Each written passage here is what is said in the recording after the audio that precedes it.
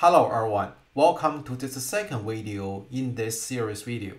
And in this video, we will discuss how can we transfer one existing transfer function, S domain transfer function, into Z domain Z transform, and then convert this Z transfer equation into difference equation like this style.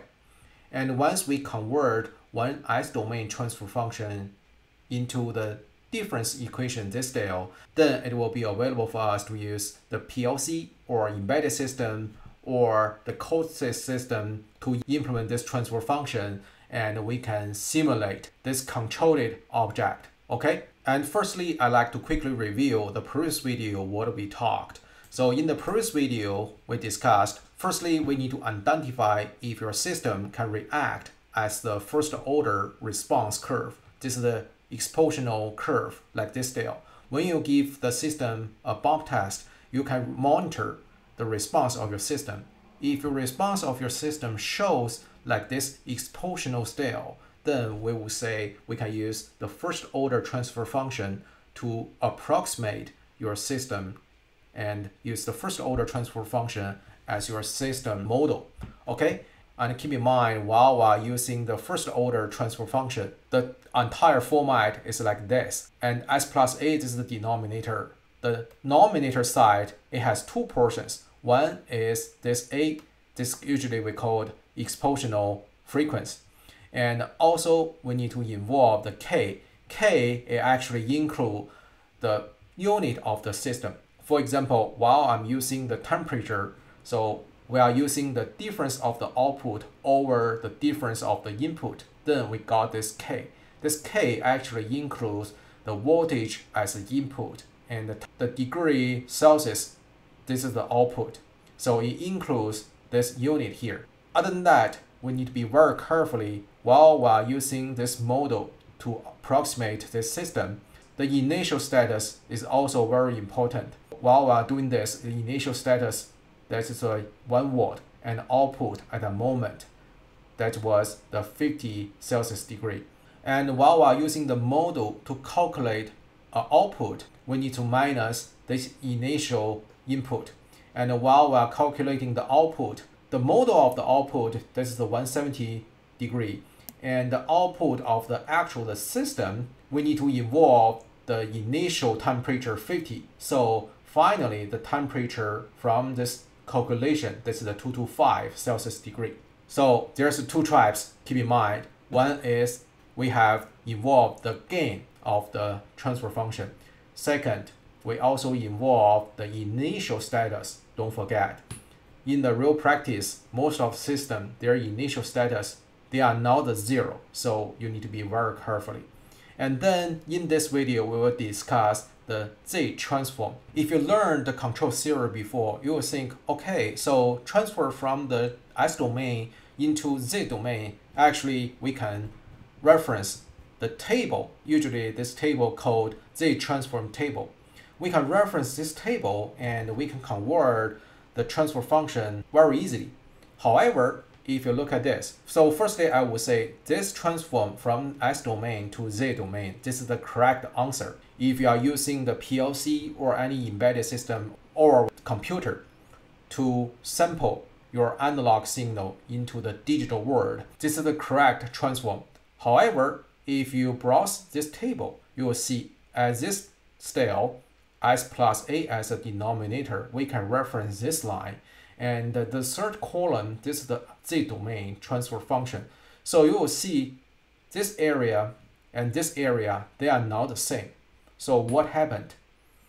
Then we will see this is a third trap while we are doing this entire transform, especially from this S domain to Z domain. So this transform cannot directly convert to here.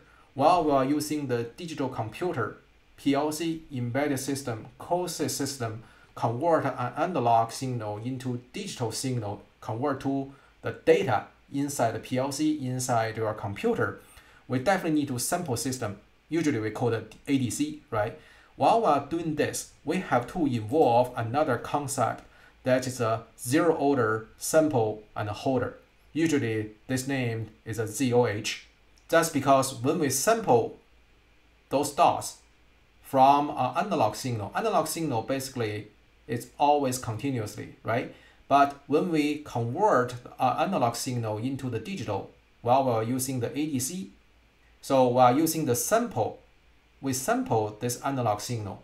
But when we sample this analog signal, it yields the staircase approximation to the analog signal. That's why when we convert the S domain transfer function into Z domain, Z domain is a digital word. So we have to involve the zero order sample and the holder, ZOH. Then that also bring up a topic. So when we convert the S domain transfer function, when we convert like this, a first order transfer function into Z domain, we cannot directly browse the Z transform table, directly transfer it. We have to involve the zero holder. Then how can we convert this? So I can manually derive an equation here. So definitely this is a very typical, very classic knowledge. Here, I just try to explain the storage behind to show how this come from. All right, so while we transfer a GS transfer function, S domain transfer function into a G domain, we cannot directly convert it by using the table. We cannot do that. Alternatively, we have to involve the Z holder here. And the Z holder is running this style. Okay, so we can see the sample, it is at here. And the transfer of the zero holder and your process model, the controlled object model, they are involved together. So if you recall the Z transform knowledge, while we are doing the Z transform, we have to do this way. So we have to involve the zero holder. So the zero holder multiply the J transfer and then we do this Z transform. Okay, so we can say this is the Z transform. Z transform, this is a zero holder. So the zero holder transfer function, it is here. So the zero holder, we can write down here. This is a zero holder. And the t here, this is sample time. So for example, if you are using PLC to calculate this entire equation, if in your PLC, the cycling time to run the difference equation, the sampling time is 100 milliseconds, then the t is a 0.1 second. Okay, so S here, this is the S domain, S domain here. Okay, and uh, so you need to multiply the G's transfer. And our controlled object G transfer, so we can still use our first order transfer function here. Then we will see, we will convert this area and this area into two area, okay? The Z transfer, we will do the S, S denominator, and the nominator is the GS, okay? Then we will do the Z transfer, and the minus, minus come from here, come from here and then do the second portion of the z transfer. Section portion is still the s is a denominator and the gs multiply the e power t sample time and the s domain s. Okay, and in the z transform idea, and this area after the z transfer, this is the one sample delay so one sample delay, we will use z minus 1. This means this is the previous time of the sample result. So then after this convert, we will do this way. And this area, so this is previous sample. So this is the z minus 1. Okay? And uh, then this area still the same. So we will do the z transform and uh, this area is the same. Then we will see this area and this area, they are the same. So then we will do very simple convert. This area is 1.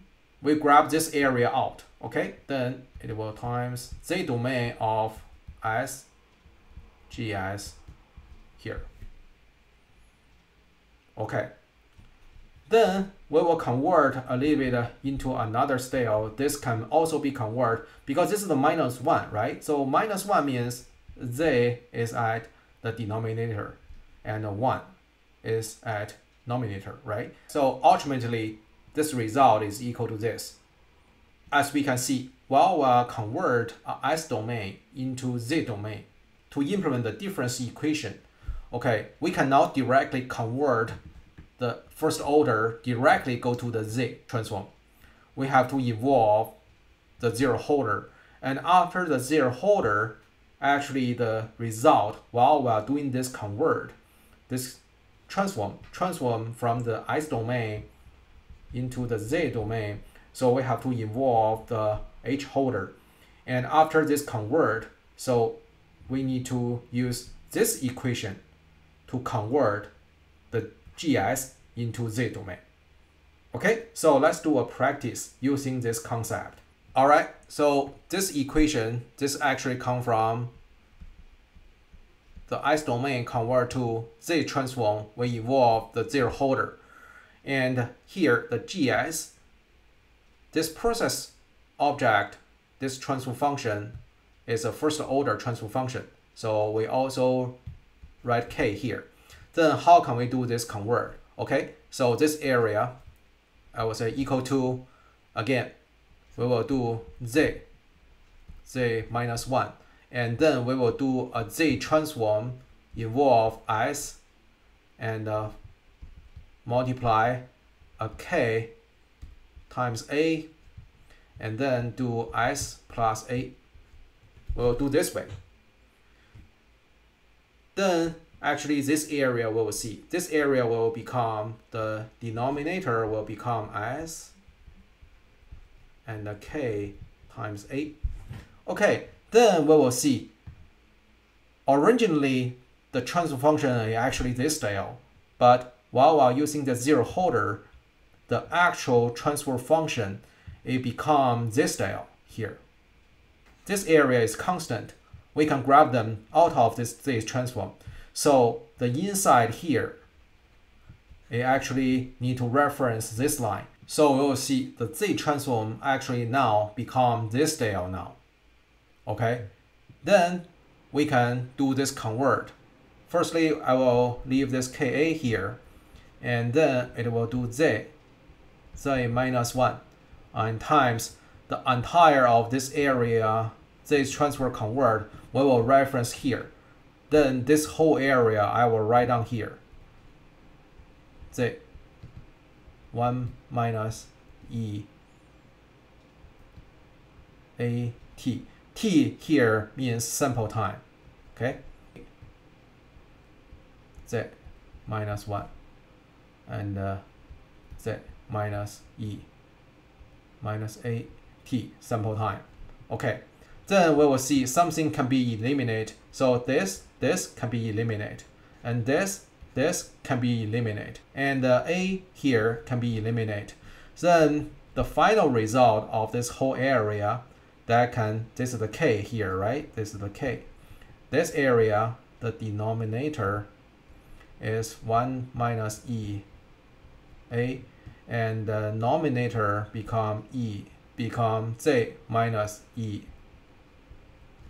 power is minus a t. t is the sample time. Okay, and here, if we multiply z power minus 1, z power minus 1 at denominator and denominator, so then this equation will become k 1 minus z t times z minus 1. Okay, and uh, the denominator will become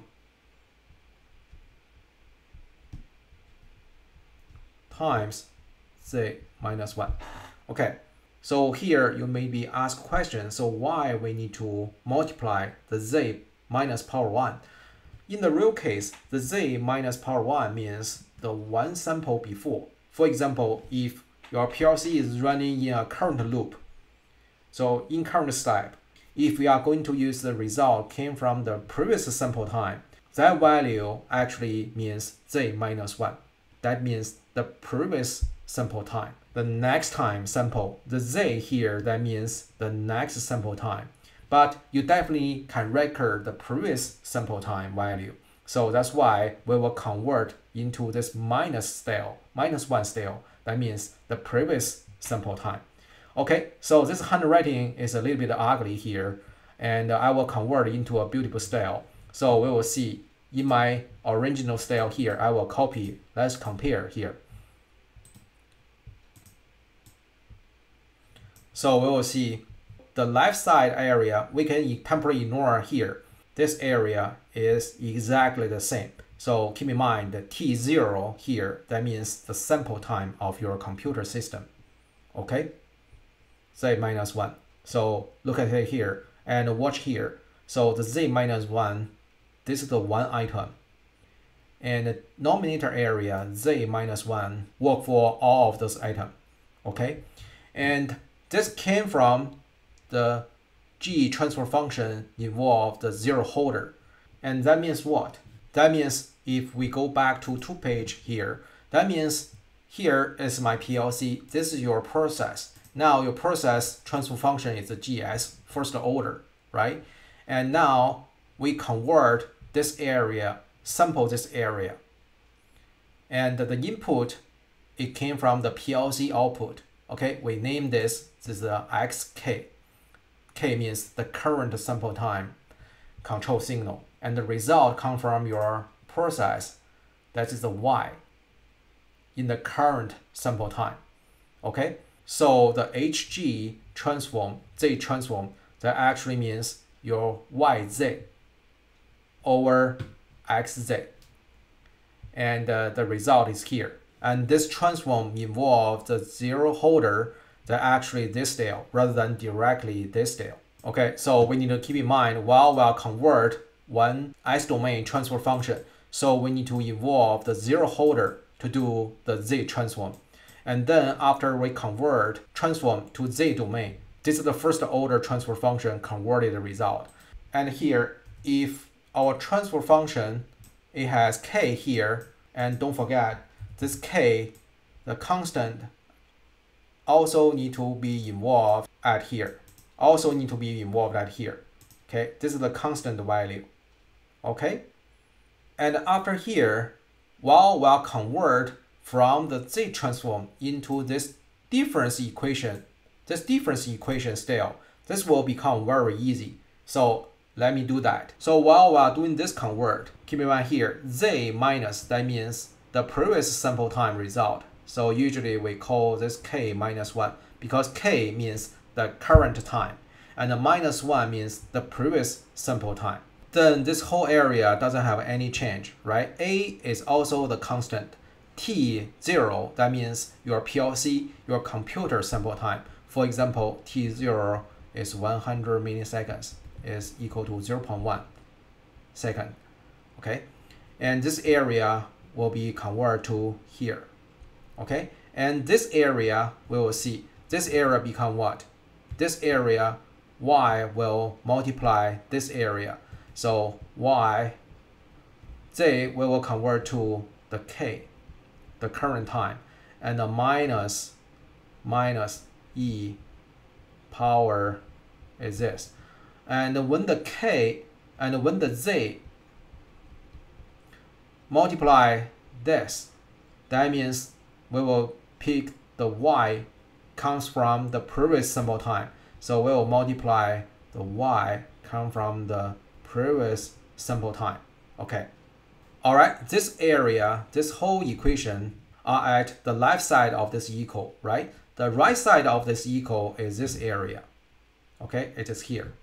Then we will move this area into the right side into the right side, then eventually it will convert to this. And this equation here, don't forget this k. This k actually belongs to part of this x here. So we will multiply the k. Then if I clean this area, so this area now become this, will become this. So after this z transform and convert to the difference equation, uh, original transfer function here. Now we convert to an equation like this. All right, after we convert this style, now our computer, our PLC, our code system and embedded system, we can use this equation to program and this equation will represent this transfer function. Till here, it's still hard for you to understand what the role of this equation. Don't worry, I will show step by step. Okay, so let me clean up the left side and let me reorganize this area. So we will leave this area still here. This is the original first order transfer function. And uh, this is the converted difference equation. Okay, and here, if you recall, in the previous video, we determined the heater transfer function that was 50 s plus 0 0.11 and the nominator is 0 0.11 because this is a a was 0 0.11 right? And k was 50 okay to easier calculate so i will just do a little bit convert okay? So this will convert to 50 multiply we will say 0 0.1 s plus 0 0.1 then this transfer function it become here. This is our temperature the heater transfer function okay? And in here the a is equal to 0 0.1 and uh, k is 50 okay? Then let's firstly calculate what that looks like of this equation okay? So we wrote here then this yk here we will calculate this area.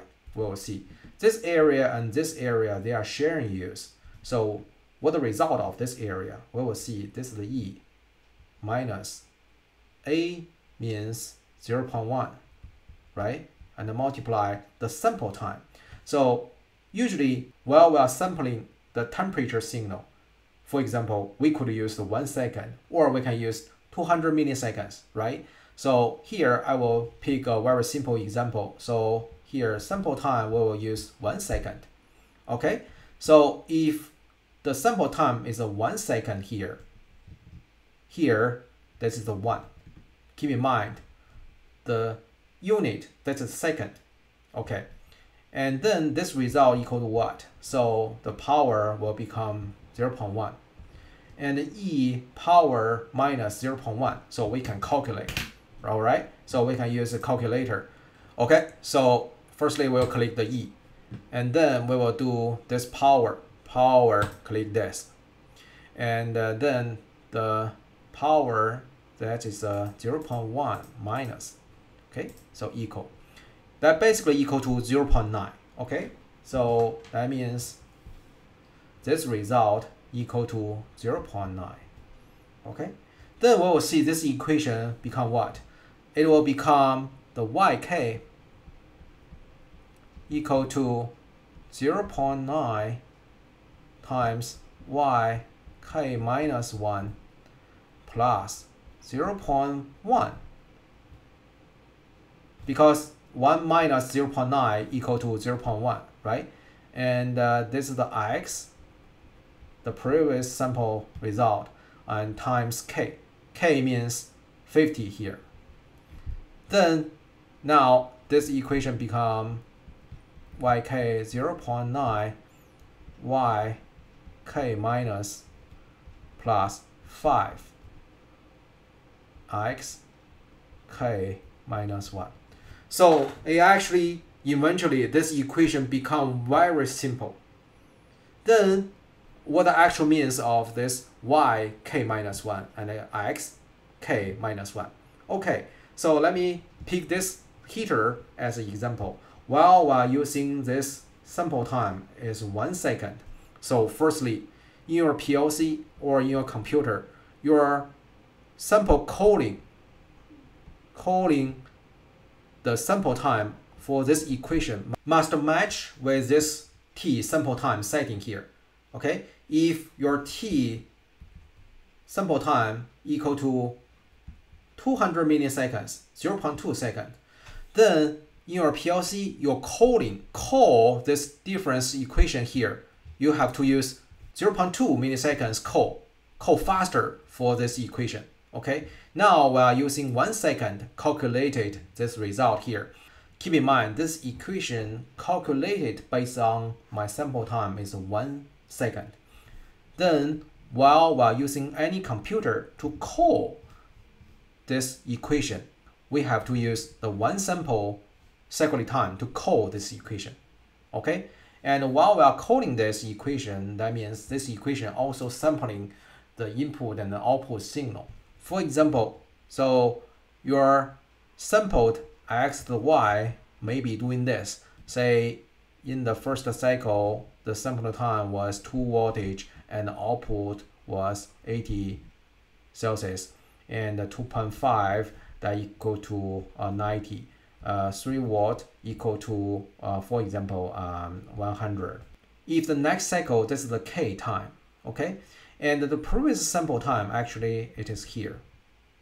And then based on this, before, the one sample before, it is k minus 2. And this line will become the k minus 3. Okay, so when we try to calculate the yk at here, then that equal to what? That equal to 0 0.9 multiply the previous sample time of the y, that's the 100 degree, okay, Celsius degree, plus 5 multiply the x came from the previous sample time. This is the 3 here. Then this result equal to 90 plus 15.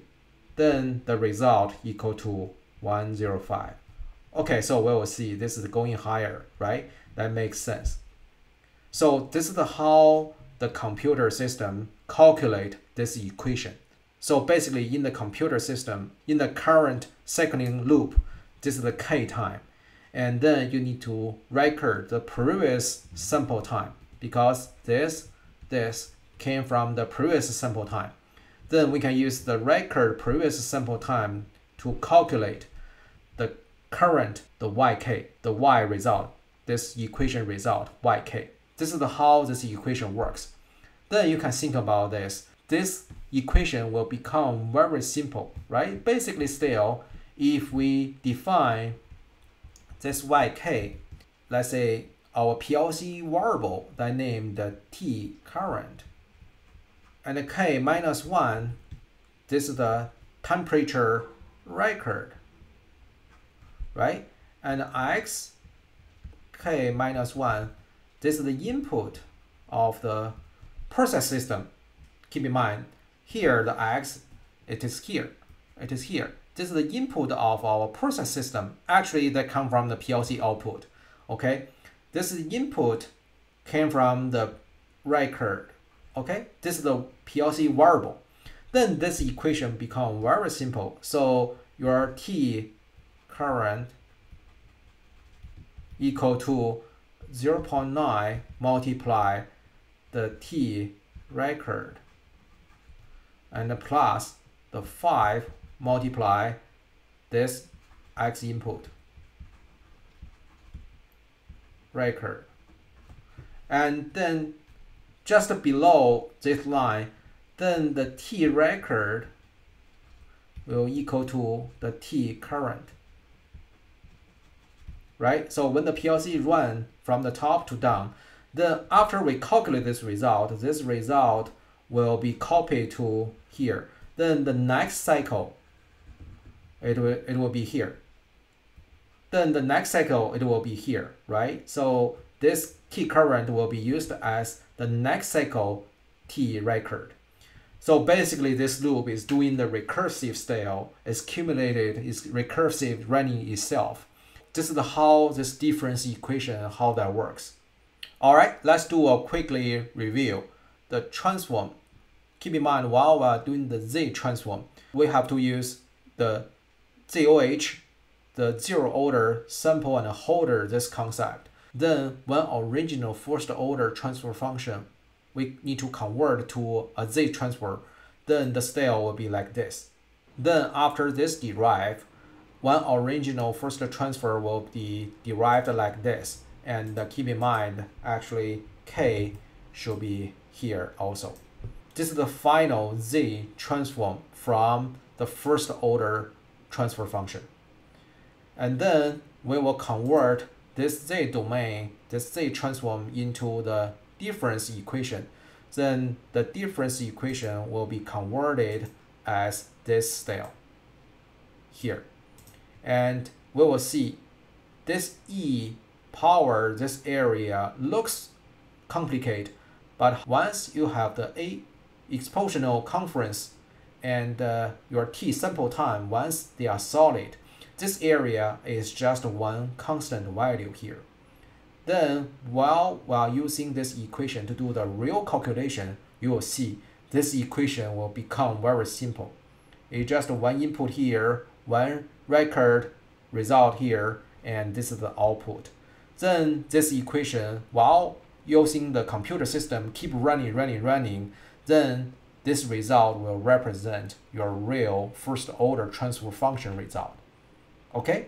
And in next video, I will show how can we use the PLC program this equation and we will see while the computer start running, then this difference equation here will run the similar result as your real system, the first order curve.